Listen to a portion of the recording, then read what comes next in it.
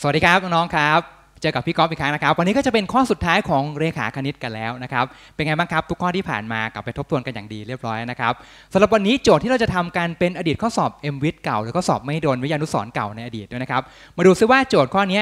ยากหรือง่ายอย่างไรอ้อบอกไว้ก่อน เดี๋ยวข้อนี้พี่จะเฉลยให้ดู 2 วิธีด้วยนะครับเพราะฉะนั้ติดตามให้ดีว่า 2 วิธี ต่างกันยังไงนะครับในห้องสอบเราจะเลือกวิธีไหนนะครับ มาดูโจทย์กันก่อนดีกว่าโจทย์ค่อนข้งยาวนิดนึงเลยสำหรับข้อสอบข้อนี้นะครับเขาบอกว่ากำหนด A B C D เป็นรูปหกเหลี่ยมดังรูปที่กำหนดนะครับ และสอดคล้องกับสมบัติต่อไปนี้ ประธานโทษตรงนี้ไม่ใช่ช้อยนะครับอย่าเข้าใจผิดช้อยอยู่นี่นะครับข้างบนนี่คือรายละเอียดโจทย์อย่างเดียวเลยเขาบอกว่ากำหนดรูปหกเหลี่ยมเนี่ย A B C D E F เนี่ยเนี่ยตรงเนี้ยอยู่ข้างล่างรูปตรงนี้นะครับแล้วมีเงื่อนไขตามนี้เลย เริ่มต้นเขาบอกว่า กอไก่ด้าน AB ตัวนี้นะ ยาว 4 หน่วยอ้าว AB ตัวนี้ยาว 4 หน่วยอะพี่ก๊อฟเติมให้ก่อนเลยนะครับ ด้าน AB ตัวนี้นะ ยาว 4 หน่วยอะแล้วก็เติมในรูปรอไว้ขอไข่ BC กับ DE ยาวด้านละ 2 หน่วยเท่ากัน BC อยู่นี่นะครับแล้วก็ DE อยู่นี่2เส้นนี้ยาวด้านละ 2 หน่วยเท่ากันอะพี่ก็เติมให้ในรูปนะครับ ยาว 2 กับ 2 หน่วยเท่ากันนะคะต่อมา EF ยาว1ครับข้อขอควาย EF อยู่ไหน EF อยู่นี่อ่าส่วนนี้นะ EF ยาว 1 หน่วย ก็ไปเติมอีกที EF ยาว1นะครับ ต่อมา AF เท่ากับ CD AF เท่ากับ CD แต่ยาวเท่าไหร่ไม่บอกนะ ด้านนี้เท่ากับด้านนี้ AF เท่ากับ CD อะใส่ไว้ก่อนใส่ลักยาวเท่ากัน นี่ยาวเท่ากับด้านนี้ AF ยาวเท่ากับ CD แต่เท่าไหร่ไม่รู้นะครับ รู้แต่ว่ายาวเท่ากัน ต่อมาพูดถึงมุมมั่ง FAB บวก BCD เป็น 180 FAB อยู่นี่ FAB ก็คือมุมที่เขาวงมาให้นิดหนึ่งนะ BCD ก็คือมุมนี้ BCD สองมุมนี้เท่าไหร่ไม่รู้นะ แต่รวมกันเป็น 180นะข้อมูลสุดท้ายนะ มุม A กับมุม C ตัวนี้รวมกันเป็น 180 ครับ ท้ายที่สุดโจทย์ต้องการพื้นที่ของมันนี่นะครับ พื้นที่หกเหลี่ยม A B C D E F ตัวนี้ว่าเป็นกี่ตารางหน่วยท้ายสุดก็คือหาพื้นที่หกเหลี่ยมตัวนี้นะครับว่ามีค่าเท่าไหร่อ้าวหลังจากพี่นำกขคงจใส่ไปในรูปเรียบร้อยแล้วนะครับ ขออนุญาตขยับโจทย์ขึ้นมานิดนึง เพื่อวางแผนการแก้กัน นะคะอย่างที่บอกข้อนี้เดี๋ยวพี่จะทำให้ดู 2 วิธี เอาวิธีแรกก่อนนะครับ วิธีแรกเนี่ยหลังจากที่เราเติมตัวเลขเนี่ยเติมพยานด้านด้านนี้ 4 ด้านนี้ 2 กับ 2 เท่ากันนะ2ด้านนี้ยาวเท่ากันแต่เท่าไหร่ไม่รู้ด้านนี้ยาว1นะครับแล้วก็ 2 มุมเนี่ยรวมกันเป็น 180นะครับและจากรูปที่ให้เนี่ยมันมีมุมฉากเพียบเลยเห็นไหมนี่ก็ฉากฉากฉากหมดเลยนะครับท้ายที่สุดคือวางแผนการหาพื้นที่รูปนี้นะครับเอาละสี่เราจะหาพื้นที่รูปนี้อย่างไร รูปมันหักไปหักมานิดนึงนะคะเพื่อให้ดูง่ายขึ้น พี่จะต่อรูปนะครับเพื่อให้รูปมันดูสวยงามและดูง่ายขึ้นนิดนึง พี่จะต่อแนว AF ตัวเนี้ยต่อมานะปุ๊บแล้วก็ต่อแนว CD ขึ้นไปตัดนิพานะต่อแนว AF ออกมานะ แล้วก็ต่อแนว CD ขึ้นไปตัดนะครับ ภาพที่ได้จะประมาณตรงนี้ ต่อเลยมานะ แล้วก็ต่อ CD ตัวเนี้ยขึ้นไปตัดตึ๊บอ่าสมมติว่าตัดกันที่จุดชื่อ G ก็แล้วกัน ต่อมาตัดตัวเนี้ยคำถามคือทุกคนดูออกไหมครับว่า มุม G ที่ต่อมาตัดตรงเนี้ยเป็นมุมเท่าไหร่ครับ เป็นมุม 90 องศาเก่งมาก ถ้าเราต่อแนวนี้กับแนวนี้มาตัดนะ มุมนี้จะเป็นมุมฉากทันทีเลยที่มุม G ทำไมเป็นอย่างนั้นล่ะครับอ่าเพราะมุมนี้ฉากกับมุมนี้ฉากอยู่แล้วไงเห็นไหมเพราะมุมประกอบข้างๆ มันก็ต้องเป็นมุมฉากหมด รวมกับมุมที่ E เดิมก็ฉากอยู่แล้ว สี่เหลี่ยมตัวนี้ก็เลยกลายเป็นสี่เหลี่ยมมุมฉาก หรือสี่เหลี่ยมผืนผ้านั่นเอง จริงไหมคะ งั้นแสดงว่าด้าน FG ก็ต้องยาวเท่ากับ ED ก็คือยาว 2 หน่วย พี่ใส่ความยาวได้นะ GD ตัวนี้ก็คือยาวเท่ากับ FE ก็คือยาว 1 หน่วย ด้านนี้ 2 กับ 1 2 กับ1เห็นไหมฮะก็คือสี่เหลี่ยมผืนผ้านั่นเองตรงนี้ หลังจากต่อรูปนี้มามันจะสวยงามขึ้นเยอะแล้วนะครับเพราะพอต่อมาเป็นมุมฉากทุกคนมองสี่เหลี่ยมตัวนี้ดิ A B C G เห็นปะ A B C G หลังจากต่อแล้วจะกลายเป็นรูปสี่เหลี่ยมรูปหนึ่งถูกไหมครับสองมุมเนี้ยรวมกันเป็น 180 แต่อย่าลืมว่ามุมภายในสี่เหลี่ยมรวมกันคือ 360 จริงป่ะถ้า 2 มุมนี้รวมกันเป็น 180 2 มุมที่เหลือรวมกันก็ต้องเป็น 180 ด้วยเช่นกัน จริงไหมครับ แต่มุมนี้ไปละ 90 แสดงว่าผลที่ตามมาคือมุม B ตัวนี้ก็เป็นใครเหมือนกัน 90 องศาเช่นกันครับ เนี่ยผลผลิตที่ตามมาคือมุม B ตัวนี้ก็เป็นมุมฉากด้วย ถ้า B ที่ได้เป็นมุมฉากด้วยการหาพื้นที่จะพอไปได้แล้วครับ พื้นที่รูปนี้เหรอ A B C D E F พี่จะแบ่งหาเป็น 2 ส่วน ดูนะครับ เทคนิคการหานะ พี่ลากเส้น AC ครับ ลาก AC นะ AC ไม่จำเป็นต้องผ่านจุด E นะครับ คุยกันก่อนนะ ไม่จำเป็นนะ ลาก AC เชื่อมกันตรงนี้เลย พอลาก AC เชื่อมกันปุ๊บสามเหลี่ยม ABC จะเป็นสามเหลี่ยมมุมฉาก ซึ่งเรารู้ 2 ด้านนี้เราหาพื้นที่แน่ๆ ส่วนหนึ่งนะ ได้แน่ ส่วนหนึ่งคือตรงนี้ จากนั้นพื้นที่ที่เหลือ 2 ตัวนี้หาไง เราก็หาจากสามเหลี่ยม AGC ตรงนี้ดิใช่ไหม AGC ที่เป็นมุมฉากเหมือนกัน เห็นไหมครับ แล้วก็ลบด้วยสี่เหลี่ยมสีขาวๆที่เป็นผืนผ้าตัวนี้ทิ้ง หันไหมฟังอีกทีนะ หาพื้นที่สามเหลี่ยมมุมฉากตัวนี้ก่อน แล้วก็ลบพื้นที่ขาวๆที่เป็นผืนผ้าตัวนี้ทิ้งไป ก็จะได้พื้นที่ส่วนที่เหลือตรงนี้ละ ไปรวมกับพื้นที่รูปนี้ที่เราหาก่อนหน้า ก็ได้พื้นที่คำตอบของข้อนี้แล้วครับ ชัดเจนนะ พอชัดเจนแล้วเราก็วิ่งไปหากันต่อครับไอ้ส่วนนี้พี่เอาไว้ที่หลังเลยเพราะมันง่ายมากมันหาได้แน่นอนไอ้ที่ยุ่งคือข้างบนตรงเนี้ยนะครับว่าพื้นที่รูปเต็มๆของสามเหลี่ยมมุมฉากจะหาอย่างไร เพราะเรายังไม่ทราบความยาว 2 ด้านนี้เลย ห็นไหมสองด้านนี้ยังไม่ทราบเลย ถ้ายังไม่ทราบเราก็ต้องสมมุติตัวแปรแล้วครับ งานนี้คงไม่มีทางเลือก พี่ก็สมมุติให้ด้าน DC ตัวนี้ยาว x ถ้า DC ยาว x AF ข้างบนก็ยาว x ด้วยเพราะโจทย์บอกว่ามันยาวเท่ากัน จริงไหมครับ มันยาวเท่ากันเพราะมันยาว x ด้วยแน่ๆแล้วเราจะแก้ x อย่างไรล่ะเอาละสิเอ๊ะ TikTok เราจะแก้ x ส่วนี้ได้อย่างไร แก้ไม่ยากหรอกครับ x ส่วนี้เราก็ใช้ด้าน AC เป็นตัวช่วยเลย ทุกคนเห็นสามเหลี่ยมรูปร่างไหม ABC ABC เนี่ยสามเหลี่ยมรูปนี้ด้าน AC ก็จะเกิดจาก square root ของ4กำลัง2บวก2กำลัง2ถูกไหมใช้สามเหลี่ยมมุมฉากข้างล่าง ในทำนองเดียวกัน AC มันเป็นด้านร่วมของสามเหลี่ยม AGC ข้างบนด้วย เห็นป่ะเพราะไอ้เจ้าด้าน AC ตัวนี้ก็คือ square root ของ x บวก2กำลัง2กับ x บวก1กำลัง2รวมกันเห็นไหมพวกนี้คือเราใช้ AC ตัวนี้เป็นด้านร่วมของสามเหลี่ยมมุมฉาก 2 รูป เพื่อลิงก์เชื่อมกันแก้ x ตัวนี้ได้ละชัดเจนนะครับ ถ้าเช่นนั้นอะพี่ก๊อฟตั้งสมการให้เลยนะ วิธีการตั้งสมการก็มาแล้วครับ เราใช้ด้าน AC เป็นตัวช่วยตัวนี้เหมือนที่พี่บอกเมื่อกี้นะครับ ก็เริ่มตั้งนะ AC กำลัง 2 ตัวนี้ก็จะมีค่าเท่ากับ AB กำลัง2เอาขอเอาด้านบนก่อนก็ได้นะ AG กำลัง 2 บวกกับ GC กำลัง2นะคะจากสามเหลี่ยมข้างบน และทำนองเดียวกัน AC กำลัง 2 ก็ยังเท่ากับ BC กำลัง2 บวกด้วย AB กำลัง2ด้วย ชัดนะคะ แล้วพี่จะเอา AC ทิ้งไปแล้วแก้ x จากก้อนนี้แม้ใช้ AC เป็นแค่ทางผ่านเฉยๆแล้วแทนค่าแก้จากตัวนี้อะเริ่มนะ AG กำลัง2ก็คือ x บวก2กำลัง2เนี่ยพี่ก็มาแทนค่าให้นะคะตึ๊บก็จะกลายเป็น x บวก2ทั้งหมดกำลัง2นะครับ บวกกับ GC ก็คือ x บวก1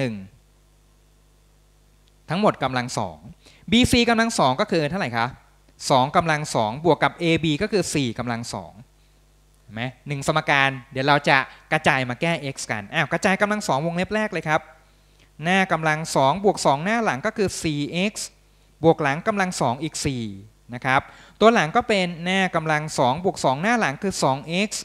หลังกำลัง2อีก 1 ฝั่งขวามือคิดเลขเลยครับ ก็กลายเป็น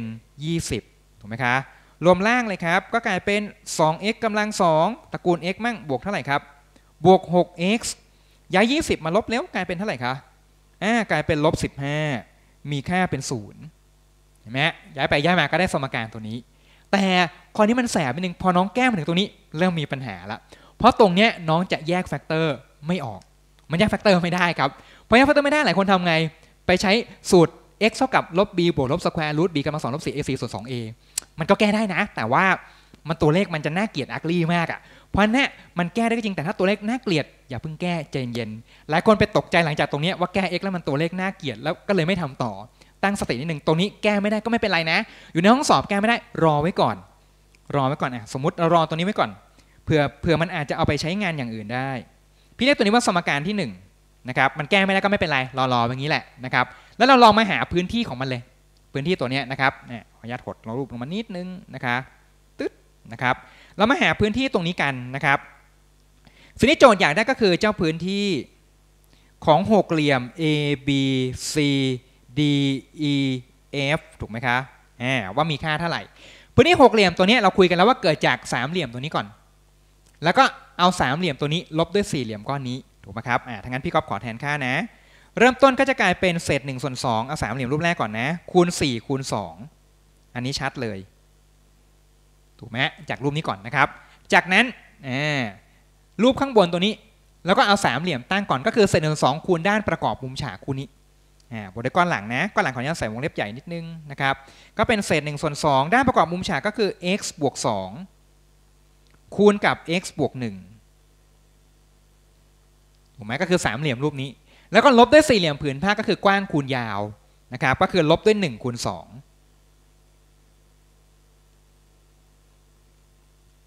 โอเคนะครับ จากนั้นก็วิ่งไปคิดเลขกัน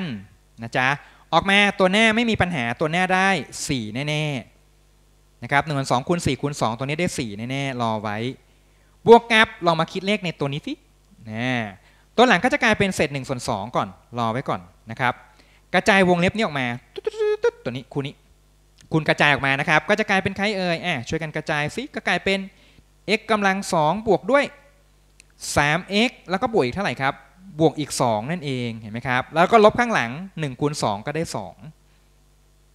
อ่าหลังจากเราลองแทนค่าดูจะติดตัวนี้เห็นไหมฮะติดตัวนี้ ทุกคนตรงเนี้ยใช้ไหวพริบตาดีได้ตาร้ายเสียน้องไม่ต้องแก้ x ก็ได้ ข้อนี้จริง ๆ ถ้าน้องทำมาถึงขั้นตอนนี้ น้องจะเห็นเลยว่าไอ้ก้อนคำตอบของเราตอนนี้ติดใคร x กำลัง2บวก 3x เห็นไหมพี่ขีดเส้นใต้ให้ดูเอาให้จะๆนะตัวนี้ตึ๊ดขีดสองเส้นเลย x กำลัง2บวก 3x อะเห็นไหมน้องดูไอ้ตัวที่เราแยกแฟกเตอร์ไม่ออกเมื่อกี้สิมองเห็น x กำลัง2บวก 3x ซ่อนอยู่ในบรรทัดนี้ไหมเห็นไหมเห็นไหมเห็นไหมเห็นไหมหลายคนเห็นแล้วเห็นว่า x กำลัง2บวก 3x ซ่อนอยู่ในนี้นั่นเองเห็นไหมคะถ้าน้องทำการย้ายข้างอีกนิดเดียวน้องก็จะได้ตัวแทนค่าทั้งก้อนเลยเห็นไหมฮะเพราะฉะนั้นพี่ย้อนกลับมาที่สมการที่ 1 ตัวนี้ทีนะ ย้าย 15 ไปแล้วก็เอา 2 ไปหารก็ได้แล้วเห็นไหมครับ เราย้าย 15 ก่อนนะจ๊ะ ก็จะได้ 2x กำลัง2บวก 6x ตัวเนี้ยมีค่าเท่ากับ 15 จากนั้นเอา 2 ไปหารซิก็ได้ x กำลัง2บวก 3x มีค่าเป็นเท่าไหร่นั่นเองคะ15 ส่วน 2 นั่นเอง นี่แหละฮะคือตัวที่เราต้องการเห็นไหมครับ แล้วก็เอามันมาแทนค่าตรงนี้ได้เลย ชัดไหมเนี่ยย้ายข้างเสร็จก็แทนตัวนี้ทั้งก้อนด้วย 15 ส่วน 2 แค่นี้แหละเราก็จะแก้คำตอบที่เหลือได้แล้วนะครับ ก็จะกลายเป็น 4 บวกด้วย เท่าไหร่เนาะ1ส่วน 2 คูณกับ 15 ส่วน 2 บวกกับอีก 2 ข้างหลังตัวนี้ต้องยังอยู่นะอย่าลืมมันนะ แล้วก็ลบอีก 2 ด้วยครับ ปิดวงเล็บ เห็นไหมที่เหลือคิดเลขอย่างเดียวก็เก็บคะแนนได้แล้วนะครับ คูณไปคูณมาคำตอบจะได้ออกมาเป็น 75 ตารางหน่วยนะคะ นี่คือคำตอบสุดท้าย กลับไปการช้อยที่ถูกนิดนึงก็คือช้อยข้ออะไรนั่นเองครับแอบก็คือช้อยข้อ 4 นั่นเองเห็นไหมคะ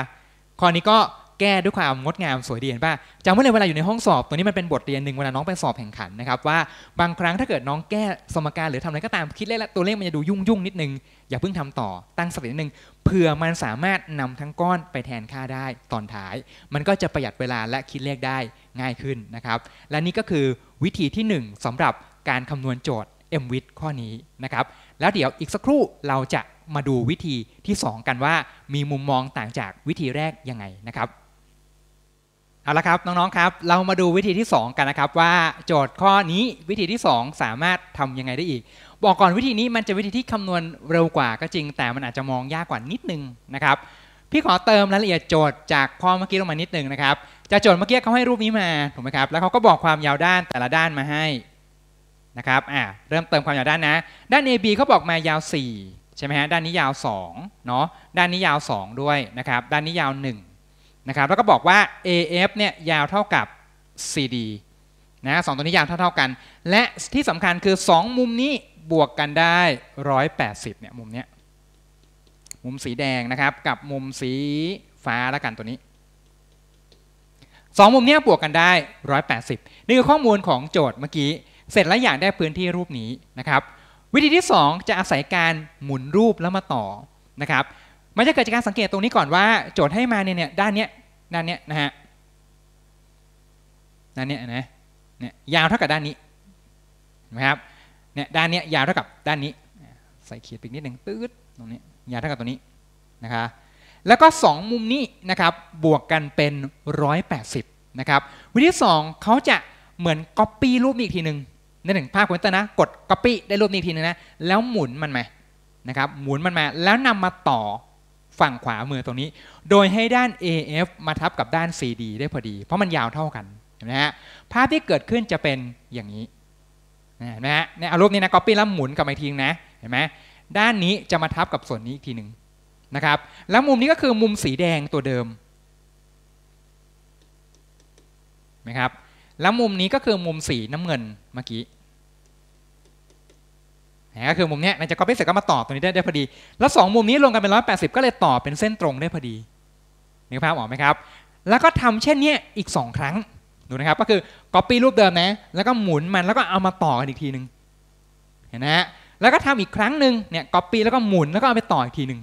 เห็นไหมครับ มันก็จะมาบรรจบกันกลายเป็นรูปสี่เหลี่ยมได้พอดี นะครับเหตุผลเพราะว่า 2 มุมนี้มันรวมกันได้ 180 แล้วก็ด้านนี้กับด้านนี้ยาวเท่ากันเสมอ เพราะมันก็จะต่อต่อต่อกันเนี้ยได้จนครบรูปอย่างนี้พอดีนะครับถ้าครบรูปพอดีเราก็จะเติมความยาวได้ที่เหลือนะครับเพราะมันคือรูปเดียวกัน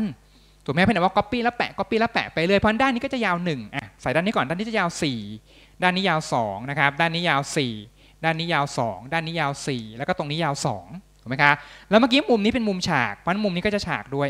พวกนี้ก็จะเป็นมุมฉากตรงนี้ก็จะเป็นมุมฉาก ถูกไหมครับถ้าวันเดียวกันมาดูด้านข้างในตรงนี้บ้างเห็นไหมหนึ่งกับ 2 ก็จะเติมต่อก็เป็น 1 2 1 2 1 2เนี่ยต่อกันไปเรื่อยๆ พอน้องเห็นรูปแบบนี้ปุ๊บ สบายละ การหาพื้นที่แรงเงาหรือพื้นที่ A B C D E F เนี่ยเราก็จะหาได้แน่ๆละเนี่ยเจ้าพื้นที่เนี่ยของ A B C D แล้วก็ E F ตัวเนี้ยถามว่าเราจะหายังไง เราก็หาจากสี่เหลี่ยม รูปใหญ่เลย ซึ่งเป็นสี่เหลี่ยมจัตุรัสแน่ๆถูกไหมครับ แล้วก็ลบด้วยสี่เหลี่ยมจัตุรัสข้างในอีกทีหนึ่งเพราะตัวนี้ก็เป็นจัตุรัสแน่ๆเหมือนกันข้างในตัวเนี้ยเพราะมุมพวกนี้จะเป็นมุมฉากหมดอยู่แล้วถูกไหม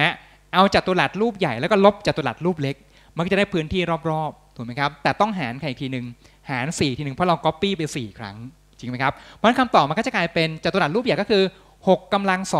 2ถูกไหมครับลบด้วยจัตุรัสรูปเล็กข้างในก็คือ 3กำลัง2แล้วก็หารด้วย 4 นะคะคิดเลขออกมาคำตอบสุดท้ายจะกลายเป็น 6.75 เท่ากันนะครับอันนี้ก็จะเป็นวิธีที่ 2 ที่คำนวณสำหรับโจทย์ข้อนี้ได้นะครับเรียบร้อยนะ ก็เสร็จและทั้ง 2 วิธีน้องก็เลือกเอากันว่า น้องชอบวิธีไหนก็เอาไปประยุกต์ใช้ในห้องสอบได้ แล้วก็เสร็จสิ้นแล้วนะครับสำหรับ เนื้อหาของเรขาคณิตทั้งหมด 8 วันที่เราเจอกันนะครับ ก็ขอให้น้องๆกลับไปทบทวนและหมั่นฝึกฝนให้ดีนะครับ แล้วขอให้โชคดีในสนามสอบ m w i t และทุกสนามสอบที่น้องเข้าสอบนะครับ แล้วพบกับคลิปดีๆต่อไปได้ในวันพรุ่งนี้นะครับสำหรับวันนี้พี่ก๊อฟก็ลาไปก่อนนะครับ สวัสดีครับ